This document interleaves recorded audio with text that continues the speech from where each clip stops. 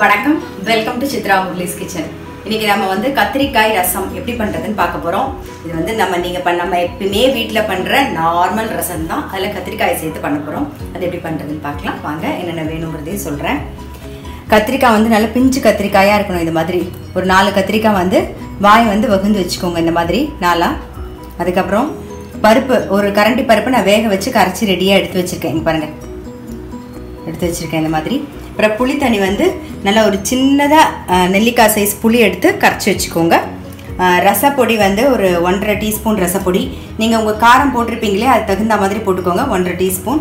அப்புறம் பெருங்காயம் ஒரு அரை டீஸ்பூன். சீரகம் கடுகு அப்புறம் கருவேப்பிலை கொத்தமல்லி உப்பு தேவையான அளவு கொஞ்சோண்டு வெல்லம். இப்போ எப்படி பண்ணுறதுன்னு பார்க்கலாம் நாம். மஞ்சள் பொடி வந்து நம்ம ரசப்பொடியிலே போட்டிருக்கிறதுனால போட வேண்டாம். கத்திரிக்காய். புளி தண்ணி. அப்புறம் உப்பு வெல்லமும் சேர்த்துருங்க. கொஞ்சம் புளியோட எருப்பு போகிறதுக்காக தான் நான் வெள்ளம் சேர்க்குறேன். அப்புறம் பெருங்காயம்.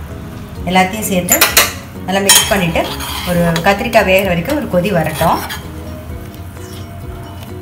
கத்திரிக்காய் வேகிறதுக்காக கொஞ்சம் மூடி வைப்போம். பாருங்கள் கத்திரிக்காய் நல்லா வெந்திருக்கும். இப்போ வந்து ரசப்பொடியை சேர்த்துடலாம். ரசப்பொடி போட்டு ஒரு கொதி வந்த உடனே நம்ம வந்து ஆஃப் பண்ணி இது பருப்பு ஜலத்தெல்லாம் சேர்க்கலாம்.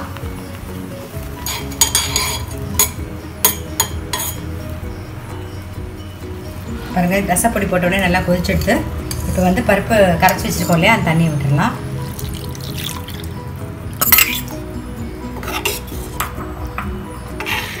நல்லா எப்பயும் ரசம் வைக்கிற மாதிரி நுரைச்சி வரும்போது ஆஃப் பண்ணிடலாம். கொஞ்சம் கருவேப்பிலை சேர்த்துக்கிறேன். கொஞ்சம் கொத்தமல்லி.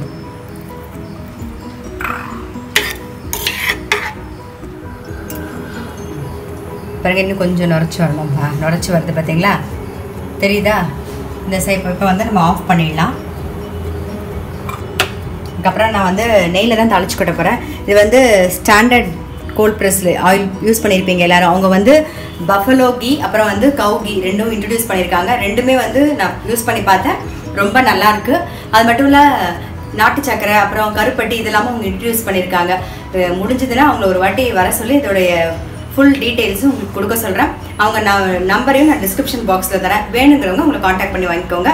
இப்போ வந்து நம்ம தாளிச்சு கொட்டிடலாம் ரசத்துக்கு.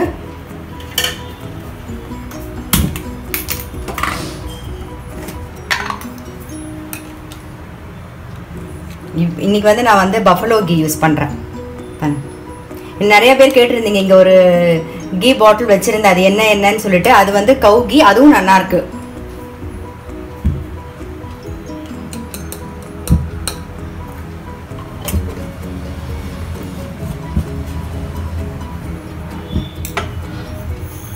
கடுகு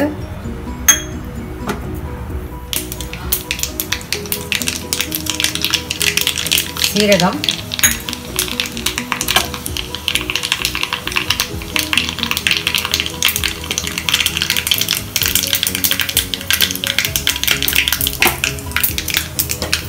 கருவேப்பிலை.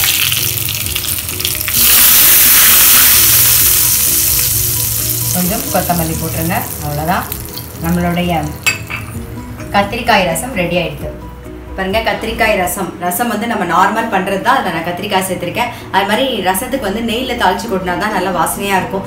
நெய் வாசனை பிடிக்கலன்னு நார்மல் எண்ணெயில் கூட தாளிச்சு கொட்டிக்கலாம். கண்டி இது வந்து சூடாக சாதத்தில் நெய்யை விட்டு பெசஞ்சு சாப்பிடுங்க. ரொம்ப டேஸ்ட்டாக இருக்குங்க. ட்ரை பண்ணி பாருங்க. ட்ரை பண்ணி பார்த்துட்டு உங்கள் லைக்ஸும் கமெண்ட்ஸும் எங்களுக்கு போஸ்ட் பண்ணுங்க. எங்களோட சேனலை மறக்காமல் சப்ஸ்கிரைப் பண்ணி வச்சுக்கோங்க. அது மட்டும் இல்லை உங்கள் ஃப்ரெண்ட்ஸ்க்கும் ஷேர் பண்ணுங்கள் நான் அடுத்த ஒரு ரெசிபியோடு உங்களை சந்திக்கிறேன்.